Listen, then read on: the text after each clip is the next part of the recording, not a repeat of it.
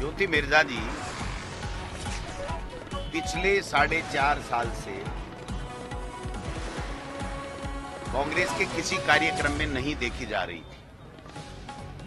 तो अब स्वाभाविक है कि उनका मन कोई आज नहीं बदला है, उनका मन काफ़ी दिनों से बदला हुआ था,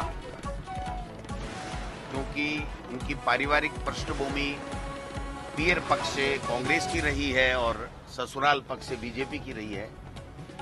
हो सकता है उन पे किसी तरीके का बड़े उद्योगपति घराने से वो संबंध रखती है। कोई दबाव होगा या उनका मन बदला होगा, मैं कुछ नहीं कह सकता, इसके ऊपर कोई टिप्पणी नहीं करना चाहता। मैं तो इतना कहना चाहता हूँ कि तीन साल से तो मैं अध्यक्ष हूँ। कभी भी किसी भी कांग्रेस के कार्यक्रम में ज्योति मिर्दा जी नहीं आई, इसलिए उन्होंने ज्वाइन किया है तो वो उनको मुबारक हो हमें कोई तकलीफ़ नहीं है।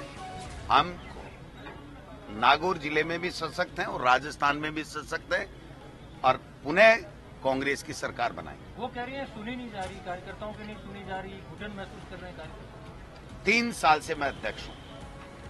मुझे उन्होंने सिंगल फ़ोन भी कभी नहीं किया कि मेरी ये प्रॉब्लम है किसी संगठन के नाते या जब मैं शिक्षा मंत्री